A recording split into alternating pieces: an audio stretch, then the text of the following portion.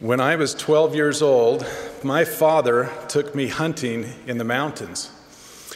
We woke up at 3 o'clock in the morning, saddled our horses, and set out up the forested mountainside in total darkness. As much as I loved hunting with my dad, at that moment I felt a little nervous.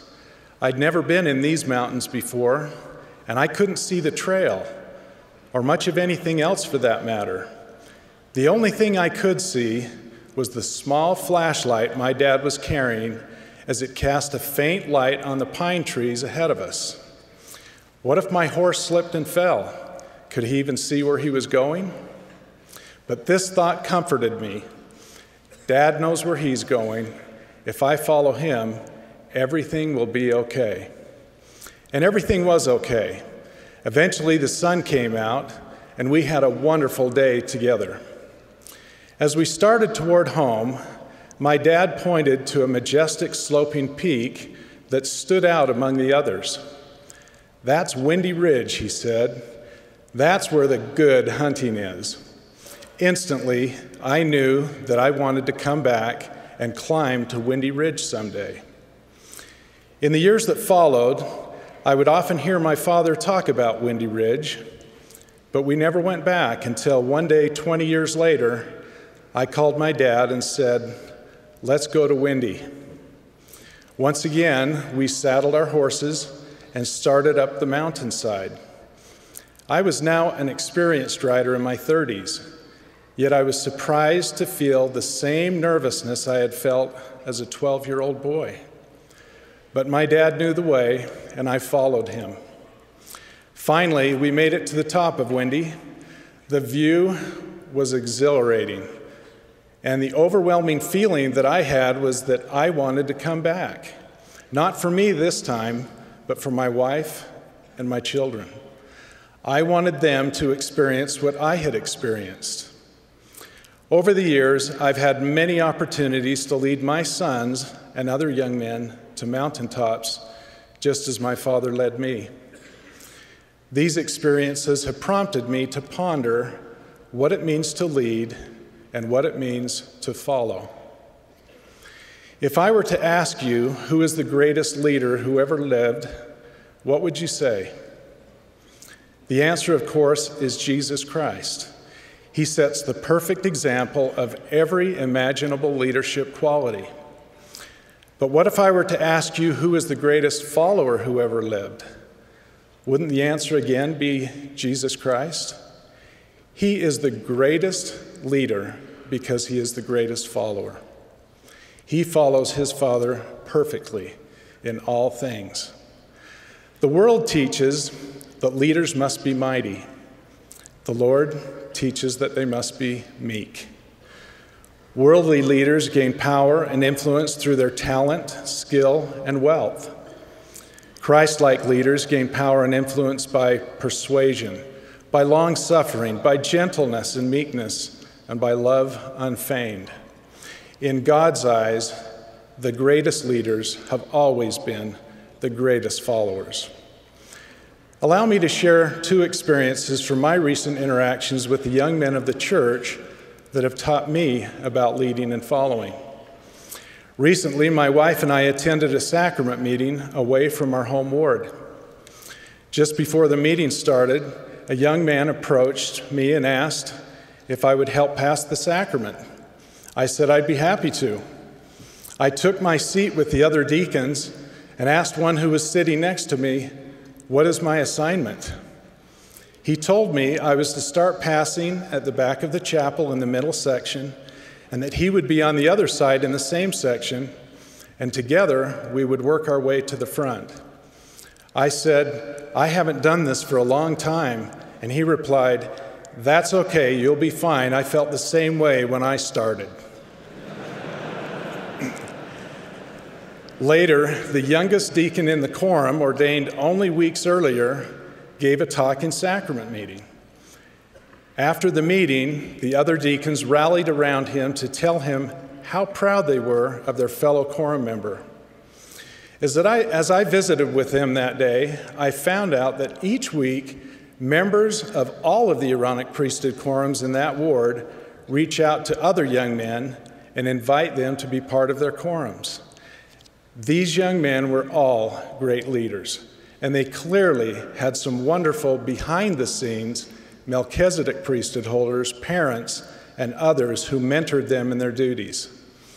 Caring adults like these see young men not just as they are, but as they can become.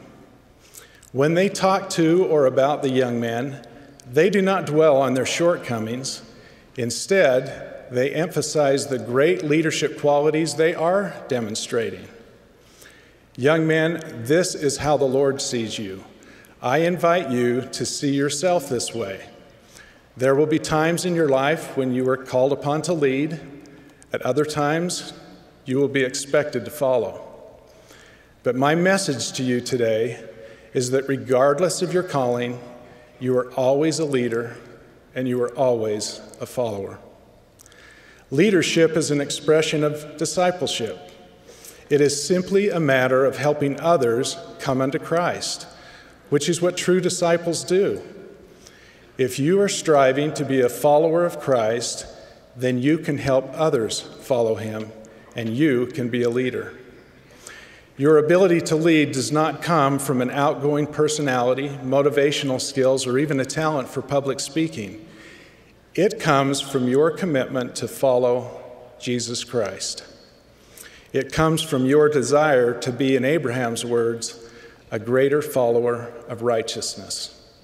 If you can do that, even if you aren't perfect at it, but you're trying, then you are a leader.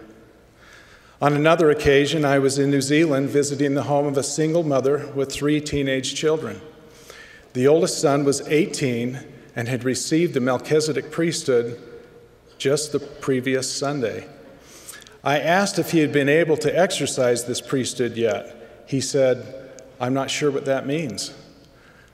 I told him he now had the authority to give a priesthood blessing of comfort or healing. I looked at his mother, who had not had a Melchizedek priesthood holder by her side for many years. I think it would be wonderful, I said, if you would give your mom a blessing. He replied, I don't know how. I explained that he could put his hands on his mother's head, state her name, state that he is giving her a blessing by the authority of the Melchizedek priesthood, say whatever the Spirit puts in his mind and heart, and close in the name of Jesus Christ. The next day, I received an email from him, and I read in part quote, Tonight, I blessed my mom. I felt very, very nervous and inadequate, so I prayed continually to ensure I had the Spirit with me because I could not give a blessing without it. As I started, I completely forgot myself and my weaknesses. I did not expect the immense spiritual and emotional power I felt. Afterwards, the spirit of love hit me so hard, I could not contain my emotions, so I hugged my mom and I wept like a baby.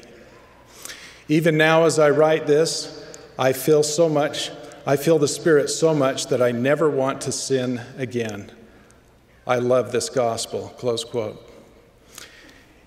Isn't it inspiring to see how a seemingly ordinary young man can accomplish great things through priesthood service, even when he feels inadequate. I recently learned that this young elder has received a mission call and will enter the Missionary Training Center next month.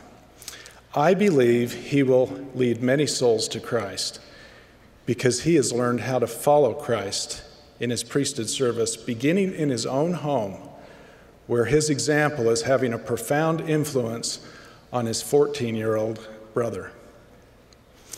Brethren, whether we realize it or not, people are looking up to us family members, friends, even strangers. As priesthood holders, it is not enough for us just to come unto Christ. Our duty now is to invite all to come unto Christ. We cannot be satisfied receiving spiritual blessings for ourselves. We must lead the people we love to those same blessings. And as disciples of Jesus Christ, we must love everyone. The Savior's charge to Peter is also a charge to us. When thou art converted, strengthen thy brethren. There will be times when the path ahead seems dark, but keep following the Savior. He knows the way. In fact, He is the way. The more earnestly you come unto Christ, the more deeply you will desire to help others experience what you have experienced. Another word for this feeling is charity, which the Father hath bestowed upon all who are true followers of his Son, Jesus Christ. Then you will find that in the very act of following Christ, you are also leading others to him. For, in the words of President Thomas S. Monson, as we follow that man of Galilee, even the Lord Jesus Christ, our personal influence will be felt for good wherever we are, whatever our callings. I bear witness that this is Christ's true church. We are led by a prophet of God, President Monson a great leader who is also a true follower of the Savior. In the name of Jesus Christ, amen.